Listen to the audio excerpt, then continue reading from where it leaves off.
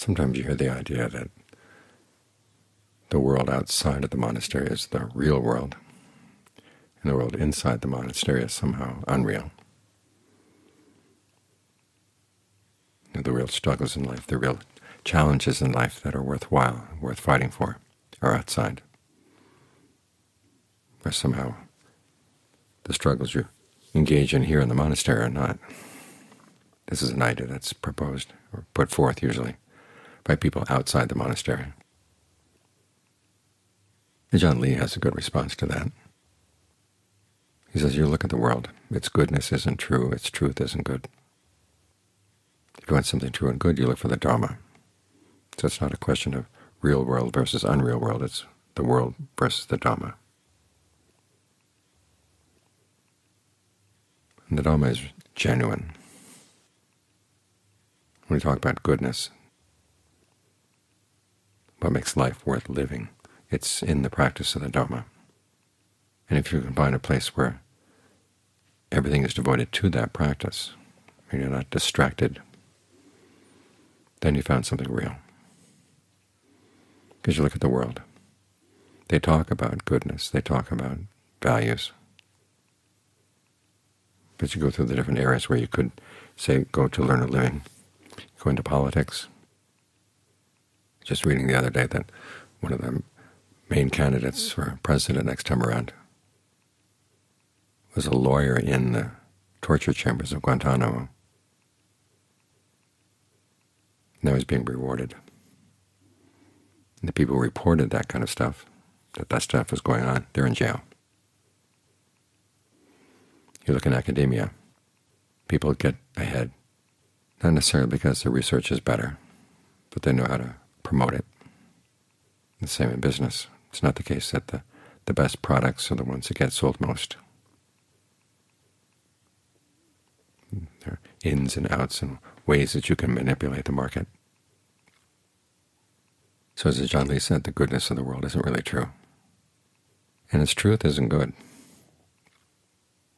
We chanted just now, the world is swept away, it does not endure. You have nothing of your own.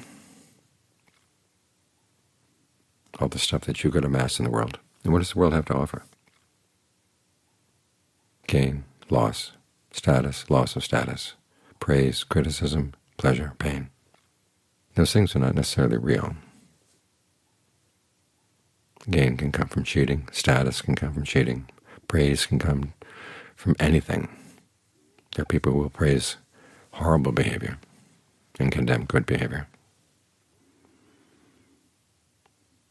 The pleasures often entail doing things that are going to have long-term pain. Is that what you want?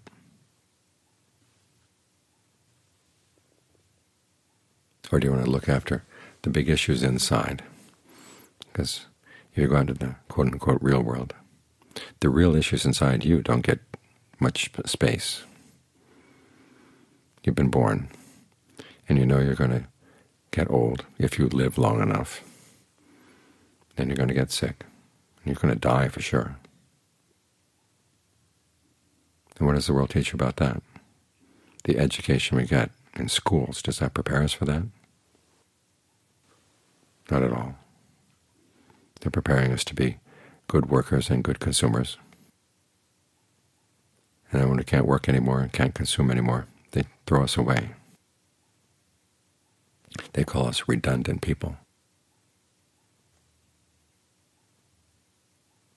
In the meantime, not only do they offer you nothing in terms of what you need to know for dealing with aging, illness, and death, they can also get you to do things that are going to make it really difficult when aging comes, when illness comes, when death comes. Many times their attitudes are, there's nothing much you can do about that, so buy our stuff. They encourage our greed, encourage our anger, encourage our delusion, all of which are going to be really bad for us. Society is bad for your health, your mental health. And the real issues don't get addressed at all. So here at the monastery you have an opportunity to address the real issues. You can sit down and be with your mind. And it's not easy. When you squeeze meditation into your life outside, you're lucky if you can sort of maintain your sanity, maintain a sense of balance. But with all the other things coming in, as with any multitasking, there are a lot of things that are going to get sloughed over. Parts of the mind that you don't want to look at, well, you don't have to look at. There are other things to fill your time. But when you're here, face-to-face -face with your body in the present moment, face-to-face -face with your mind in the present moment, things are going to come up.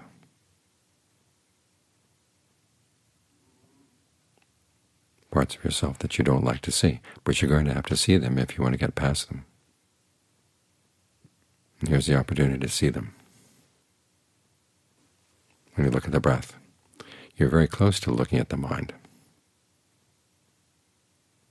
And we look at the breath to give ourselves a good foundation. So we look in the mind and see things we don't like about the mind, we're not blown away. And try to develop a sense of ease, well-being, belonging here in the present moment.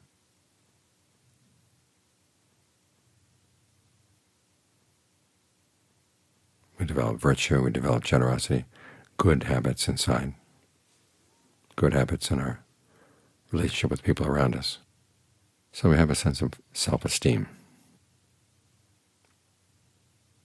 Then we do have some self-worth. So when things come up in the mind that challenge that self-image, we're not blown away. We have the confidence that we have enough goodness to deal with these things. So the real issues are here, as you're sitting face to face with the mind. And uh, as Ajaan Lee says, when you start practicing, that's when you see your defilements. You can read about the practice and have all kinds of theories about how things should go in nice, ordered steps. But you find that the mind goes up and down as you actually look at it. Things seem to be settling down, and then greed comes in, lust comes in, anger comes in, fear, anxiety.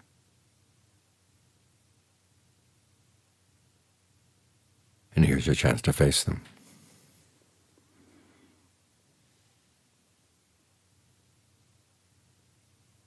It's like those heroes in vision quests. They're running away, running away, running away from what they feel is chasing them.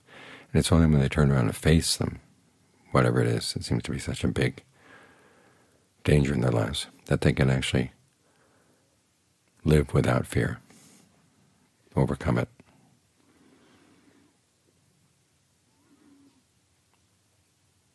And being outside, not practicing, is running away. Practicing is taking a stance.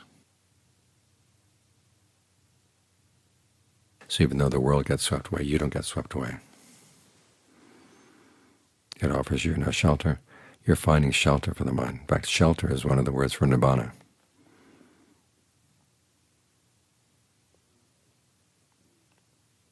You see all these things that are not your own, but there are things that you can lay claim to, saying, this is what I really want to do. This is what I really want to accomplish. In other words, you take your sense of agency and you use it well. Examine that last problem, the world is insatiable, insufficient, a slave to craving. The world is never going to give you enough. So why do you keep running after it?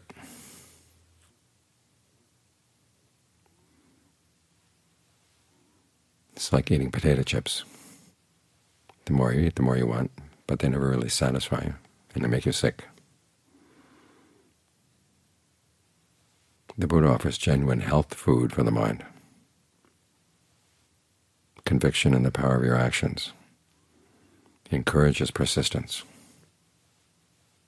i.e., learning to take delight in developing skillful qualities and abandoning unskillful ones, whether it means just watching them or actually actively undoing the unskillful ones, replacing with something more skillful. The Buddha has you feed on mindfulness, concentration, discernment, finding joy in all these things.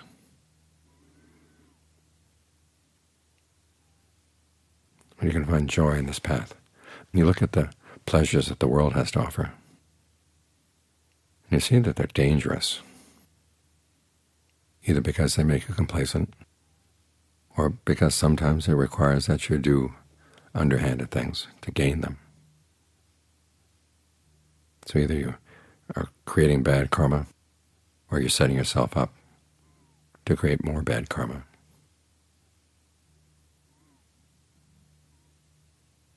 And then they say that they're real. They may be real, but they're not really for real. If you want something that's for real, you look to the Dharma.